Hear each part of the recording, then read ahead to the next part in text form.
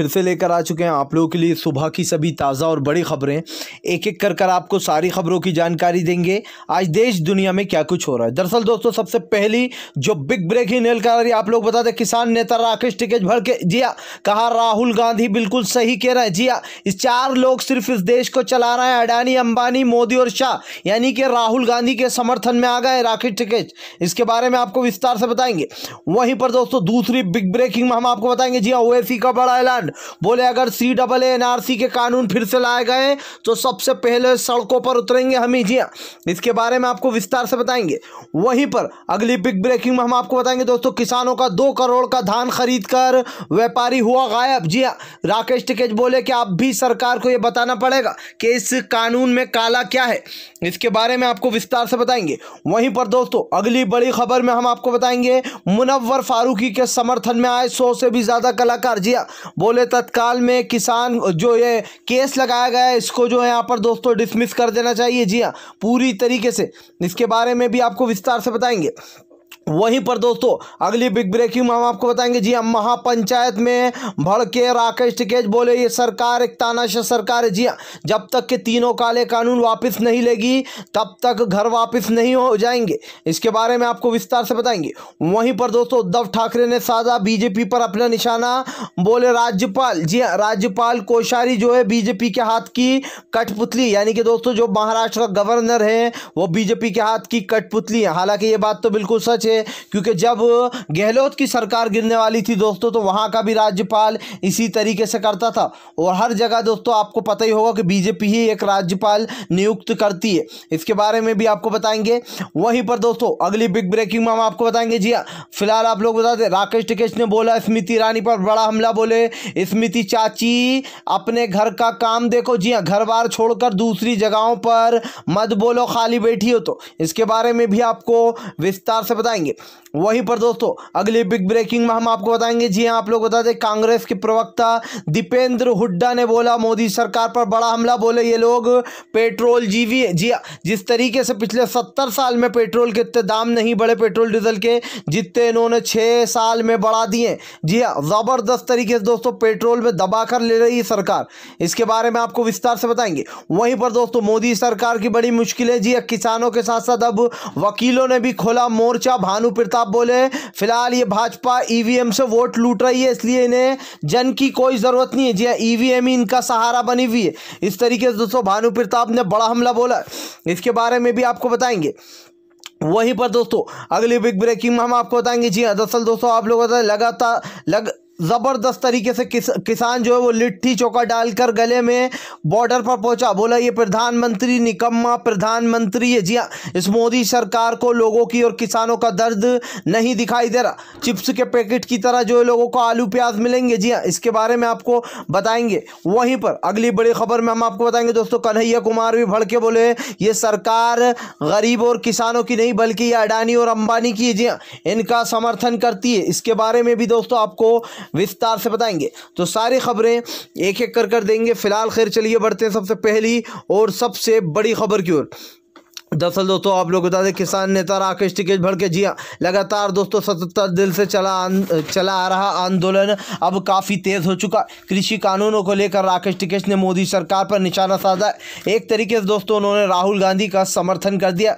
उनका कहना है कि फ़िलहाल राहुल गांधी सही कह रहा है। इस देश को सिर्फ़ चार लोग ही चला रहे हैं सरकार को। अडानी, अंबानी, मोदी और शाह, जी हाँ दोस्तों, इन चार लोगों का नाम राकेश टिकेश ने भी लिया। उनका कहना है, कहीं ना कहीं सरकार ये बात बिल्कुल सच है कि देश जो जो है अब चार लोगों के हाथ में आ गए। दोस्तों, जिस तरीके से किसानों बिल को लेकर जो किसान लगातार, आज जो अठहत्तर दिन होगा, अठहत्तर दिन से बैठे हुए इसको लेकर किसानों का गुस्सा लगातार फूटता जा रहा है। किसानों ने बड़ा ऐलान कर दिया। बोले, सरकार की ये तानाशाही अब ज़्यादा दिन तक चलने वाली नहीं है। जहाँ एक तरफ़ किसान, दोस्तों, अपनी मांगों पर अड़ा है तो वहीं दूसरी तरफ़ केंद्र की मोदी सरकार लगातार किसानों के साथ, दोस्तों, आतंकवादियों जैसा व्यवहार कर रही है। कीले ठुकवा दिए गए। बिल्कुल ये समझ लीजिए कि वहाँ का दाना पानी बंद कर दिया गया। हालाँकि ये बात भी सच है दोस्तों कि किसान हारने वाला नहीं है। राकेश टिकेश ने कहा कि फ़िलहाल इन चार लोगों के हाथ में भले ही सरकार हो लेकिन फ़िलहाल ऐसी सरकार को जल्दी ही इस देश का किसान हटा देगा। जी हाँ, अगर यही चलता रहा तो फ़िलहाल गद्दी भी खो देगी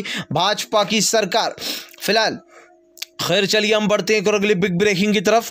बता दोस्तों, अगली जो बड़ी खबर निकल के आ रही जी हाँ महाराष्ट्र में उद्धव ठाकरे ने साधा मोदी सरकार पर अपना निशाना बोले। फ़िलहाल, जी हाँ फ़िलहाल महाराष्ट्र का जो गवर्नर है, वो बीजेपी के हाथ की कठपुतली। दरअसल दोस्तों, आप लोगों को राजस्थान का मामला तो याद ही होगा। राजस्थान के साथ साथ मध्य प्रदेश का भी याद होगा। ये तो आपको पता ही होगा कि हर जगह गवर्नर बीजेपी का होता है।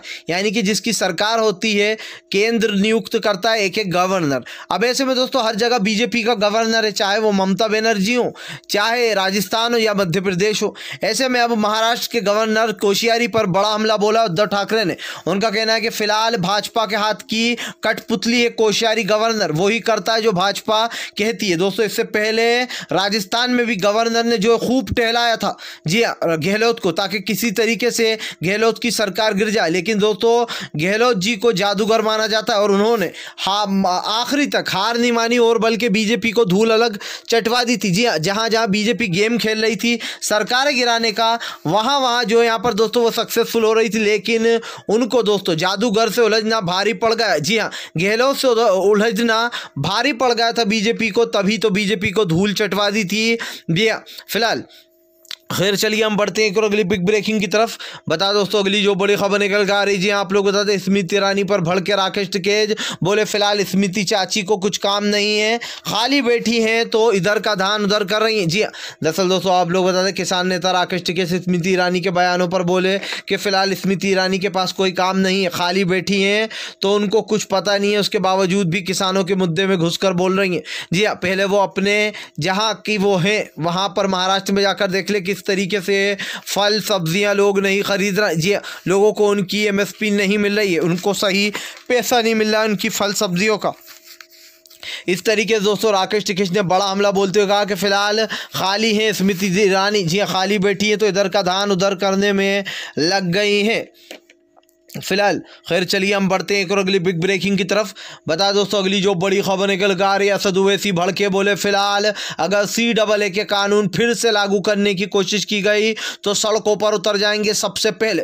दरअसल दोस्तों A M I chief Asaduddin Owaisi का साफ़ कहना कि फ़िलहाल गलत के लिए सड़कों पर उतरना कोई गलत बात नहीं होती। जी हाँ अपने हक के लिए लड़ना कोई गलत बात नहीं। और अगर फ़िलहाल बीजेपी ने इस देश को बांटने की कोशिश की, या फिर इस देश में फिर से एक बार सी डबल ए और एनआरसी का कानून लाने की कोशिश की तो सबसे पहले सड़कों पर उतर जाएँगे और फिर से उसी तरीके से प्रदर्शन होंगे, धरने होंगे अगर मोदी सरकार ने सी डबल ए या एनआरसी लाने की कोशिश की। यानी कि दोस्तों, ज़बरदस्त तरीके से ओवैसी भड़के और उन्होंने साफ़ कर दिया कि फ़िलहाल भाजपा कितनी रणनीतियाँ बना ले। अगर एनआरसी और सी डबल ए जैसे काले कानून लाए गए तो उनको बख्शा नहीं जाएगा। फ़िलहाल खैर चलिए हम बढ़ते हैं एक और अगली बिग ब्रेकिंग की तरफ़।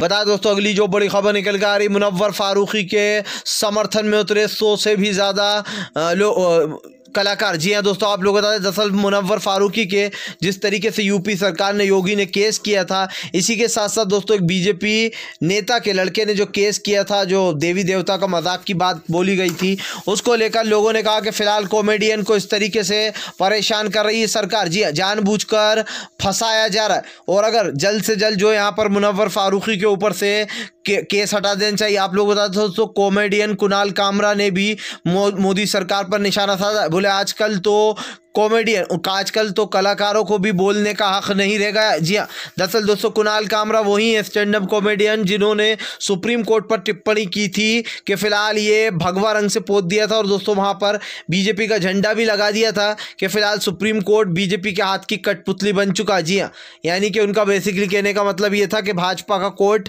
बन चुका है। उन्होंने भी कई टिप्पणी इस पर सवाल उठाए मुनवर फारूकी पर। फ़िलहाल खैर, चलिए हम बढ़ते हैं एक और अगली बिग ब्रेकिंग की तरफ़। बता दोस्तों, अगली जो बड़ी खबर निकल कर आ रही जी दीपेंद्र हुड्डा ने साधा मोदी सरकार पर अपना निशाना बोले, पेट्रोल जीवी है मोदी सरकार। जी दरअसल दोस्तों आप लोग बता दें कांग्रेस के नेता दीपेंद्र हुड्डा ने मोदी सरकार पर निशाना साधते हुए कहा कि फ़िलहाल ये पेट्रोल और डीजल जीवी हो गई है ये सरकार जी हाँ पिछले सत्तर साल में इतना रेट नहीं बढ़ा जितना कि मोदी सरकार ने दोस्तों छः साल में आकर बढ़ा दिया। सोचिए दोस्तों कांग्रेस का वो दौर सोचिए जब पेट्रोल मात्र चा, चालीस या पचास रुपये लीटर था जी हाँ लेकिन आज पेट्रोल के दाम सौ रुपये से भी ऊपर चले गए। क्या दोस्तों ये हमारी सबसे बड़ी हार नहीं है कि हमारे देश में सौ रुपये से ऊपर पेट्रोल बेचा जा रहा है? सरकार दबाकर लोगों से टैक्स ले रही है। जब बात आती है एमएसपी देने की तो सरकार के हाथ पैर फूलने लगते सोचिए दोस्तों, ये देश की जो जीडीपी वो लगातार नीचे गिरती जा रही जी हाँ क्योंकि हमारे पीएम मोदी जो नया संसद बनाने में लगे हैं।